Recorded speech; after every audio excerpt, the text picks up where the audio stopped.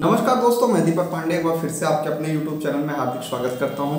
दोस्तों, आज हम बात करेंगे एमसीयू में प्रवेश को लेकर। जी हाँ दोस्तों, जिन्होंने भी जो है प्रवेश के लिए फॉर्म भरा हुआ था, वहाँ पे मेरिट लिस्ट जारी हो गई, जिसका एक सेपरेट वीडियो मैंने आपको जो है प्रोवाइड करवा दिया कि आप जो है मेरिट लिस्ट में कैसे अपना नाम वगैरह चेक कर सकते हैं। लेकिन दोस्तों, अब हम बात करेंगे कि वहाँ पर प्रवेश कैसे होगा, वहाँ पे जो आपका प्रवेश का प्रोसेस है फ़ीस वगैरह कैसे आपको जमा करनी है तो इसके बारे में आज हम इस वीडियो में बात करेंगे। तो दोस्तों वीडियो को आप लास्ट तक देखेगा ताकि कोई भी जानकारी आपसे मिस ना हो।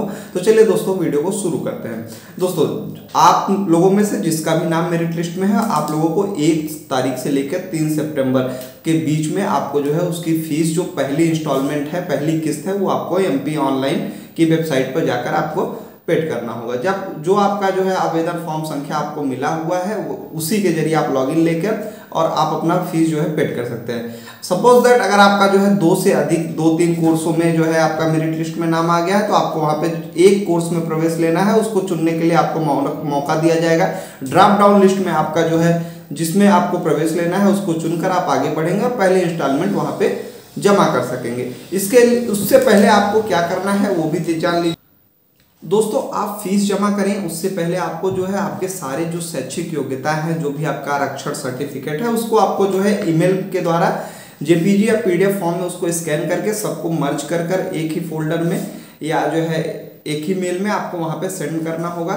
कहाँ पे सेंड करना है उसकी ईमेल आईडी कैसे मिलेगी आप हमारे टेलीग्राम चैनल से जुड़ जाइएगा वहाँ पे मैं सारी डिटेल आपको जो है सेंड कर दूँगा। ठीक है? और अन्य महत्वपूर्ण लिंक्स आपको जो है वीडियो के डिस्क्रिप्शन में भी मिल जाएगा।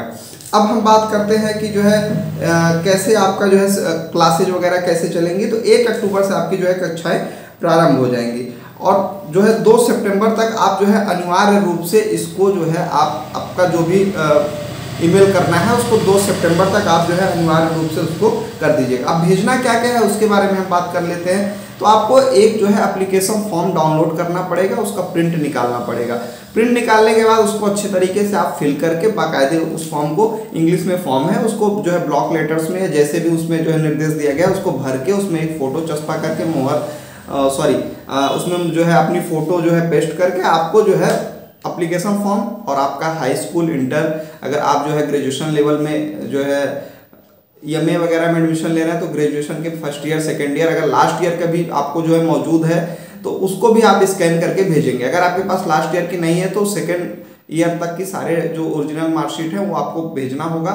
यही हाल आपका जो है इंटरमीडिएट में है। अगर आपके पास अभी मार्कशीट नहीं है तो हर हाल में आपको जो है ओरिजिनल मार्कशीट 25 सितंबर तक वहाँ पर देना होगा।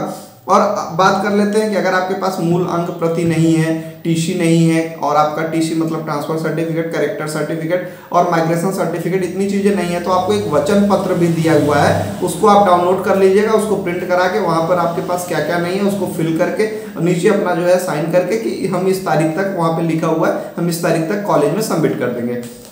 ये हो गया। और आपका एक एक प्रिंट आपको और निकालने पड़ेंगे। टोटल आपको तीन प्रिंट निकालने पड़ेंगे।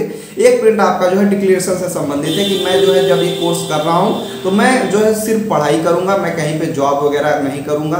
मैं पूरा जो है अच्छे से जो भी विश्वविद्यालय का जो रूल्स एंड रेगुलेशन है उसका मैं पालन करूँगा और मैं किसी भी नकल वगैरह सामग्री का यूज़ नहीं करूँगा। मैं कोई भी वहाँ पे जो है गलत गतिविधियों में लिप्त नहीं जा, पाया जाऊँगा। इस तरीके से एक घोषणा पत्र एक आपका जो है वचन पत्र और आपको अप्लीकेशन फॉर्म ये तीन चीज़ें आपको प्रिंट करवा के उसको जो है बाकायदे फिल करके उसको स्कैन करना है। इसके बाद आपका जो है हाई स्कूल की मूल अंक प्रति और अगर आपका मार्कशीट सर्टिफिकेट दोनों जो है अलग अलग है तो आपको अलग अलग स्कैन करना होगा। इसके अलावा इलेवंथ का अगर आपका ट्वेल्थ आ गया तो वो भी ये आपका जो है ग्रेजुएशन वालों के लिए है। अगर आप जो है पीजी कोर्स में एडमिशन वहाँ पे चाहते हैं तो आपको जो है ग्रेजुएशन तक के सारे मार्कशीटों को, अगर आप एमपी से हैं, आपको किसी जो है आरक्षण के ज़रिए आपको वहाँ पे दाखिला मिलने वाला है तो उसका भी आपको लगाना पड़ेगा। अगर आप एमपी के निवासी हैं तो एमपी का मूल निवास प्रमाण पत्र और वहाँ पे जो है, जो भी कास्ट कास्ट सर्टिफिकेट होता है, वो आपको ये सब चीज़ें स्कैन करके आपको जो है पर्टिकुलर एक ईमेल आईडी पे भेजना होगा।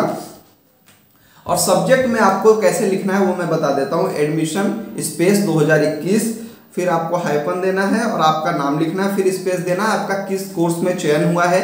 जैसे बीए इन मास कम्युनिकेशन में हुआ है तो बीए फिर ब्रैकेट में एमसी उसके बाद स्पेस देके आपको आपका फॉर्म नंबर और उसके बाद आपका जो सिलेक्शन हुआ है, वो किस कैटेगरी में हुआ है? जैसे एमपी जर्नल में हुआ है या ओपन में हुआ है, ओपन रैंक में हुआ है तो किसमें इतना आपका जो है सब्जेक्ट लाइन में लिखकर और सब कुछ आपका जो है अप्लीकेशन फॉर्म आवेदक की घोषणा वचन पत्र, ये सब जो है आपको वहाँ पे जो भी स्कैन किया हुआ है, सब वहाँ पे मेल करना होगा। मेल आपको कहाँ करना होगा, ये आप टेलीग्राम चैनल से जुड़ जाइएगा तो वहाँ पे मैं आपको इसका दे दूँगा डिटेल कि आपको कैसे वहाँ पे भेजना है। सब डिपार्टमेंट के लिए अलग अलग है एमएससी अगर आप इलेक्ट्रॉनिक मीडिया से करना चाहते हैं तो उसको अलग मेल पे भेजना है।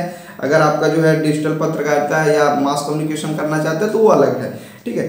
अब इस तरीके से आप जो है अच्छा हॉस्टल की बात कर ले तो हॉस्टल की फ़ीस आपकी जो है इक्कीस हज़ार रुपए है, बाईस हज़ार रुपए आपकी जो है फूडिंग का चार्ज है, और ये अभी क्या है, विश्वविद्यालय नए परिसर में जो है शिफ्ट होने वाला है तो वहाँ पर कुछ हो सकता है, फ़ीस में कुछ बढ़ोतरी हो सकती है तो लेकिन फ़िलहाल में इक्कीस हज़ार रुपए आपका हॉस्टल प्रतिवर्ष और बाईस हज़ार रुपए आपका जो है भोजन का प्रतिवर्ष लगेगा, ठीक है दोस्तों?